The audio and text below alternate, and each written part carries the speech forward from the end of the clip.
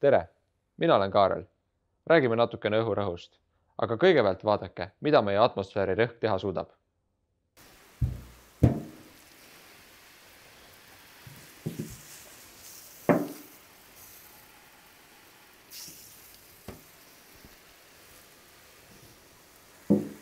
meie atmosfäär avaldab meile kogu aeg rõhku suurusega sada üks tuhat kolmsada kakskümmend viis paskalit. Vaatame seda ruutu, täpselt üks ruutdetsimeeter. sellise rõhu saame siis, kui sellele pindalale jaotame ära umbes sada kilogrammi või kui mu käelabale astuks sajakilone inimene. tundub päris palju, aga just selline rõhk avaldab meile pidevalt survet atmosfääri rõhu näol. kuidas on see aga seotud selle tünniga, mida te nägite? võtame plekkpurgi ja vaatame sama olukorda väiksemates mõõtmetes. purgi põhja valame natukene vett. Kuumutame seda ja ajame vee keema. purk läheb veeauru täis ja õhk surutakse sealt välja. nüüd, kui purgi otsapidi külma vette asetame, jahutame me selle kiiresti alla, siis veeaur seal sees kondenseerub veeks. gaasina täidab see ära terve purgi aga veeks tagasi kondenseerudes jääb alles vaid paar tilka ja meil tekib purgis vaakumilähedane olukord.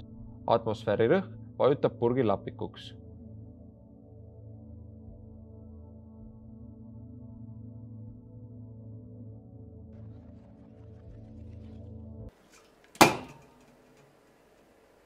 Kuna füüsikaseadused ei muutu, siis saame sama asja teha ükskõik kui suure purgiga. Lähme vaatame õue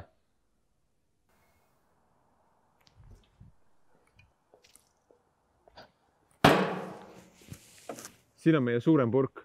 teeme sama katse uuesti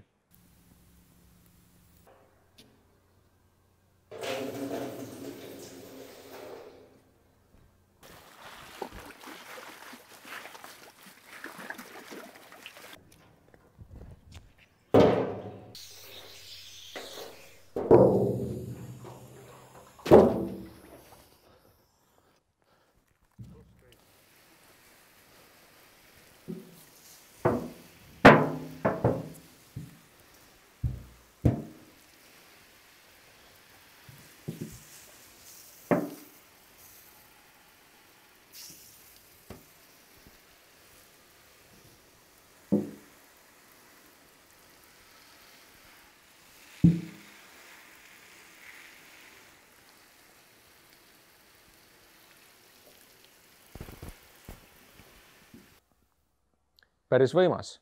kuigi tünn on palju tugevamast materjalist, siis tänu suuremale pindalale on ka jõud oluliselt suurem ja lõpptulemus sama